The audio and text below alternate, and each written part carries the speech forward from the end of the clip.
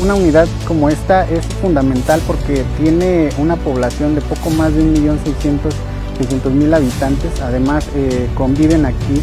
eh, diferentes ecosistemas y por supuesto pues eso genera eh, casi todos los fenómenos posibles.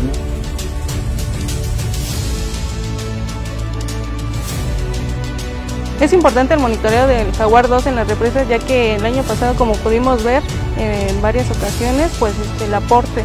tanto de aguas fluviales como aguas broncas al municipio pues fue grande entonces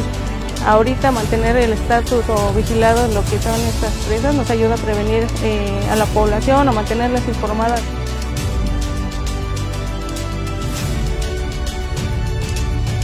ya que nos apoya para hacer una planeación integral a través de las diferentes actividades que llevamos dentro de la Dirección de Protección Civil y Bomberos.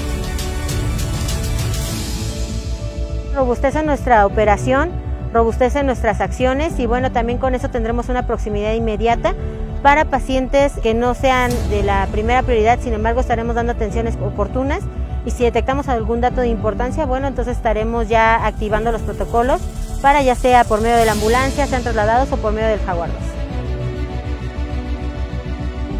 sepan que esta aeronave eh, en alguna situación eh, que necesite trasladar a algún paciente por alguna circunstancia de trauma, lo va a realizar a un hospital de especialidad con la mayor prontitud.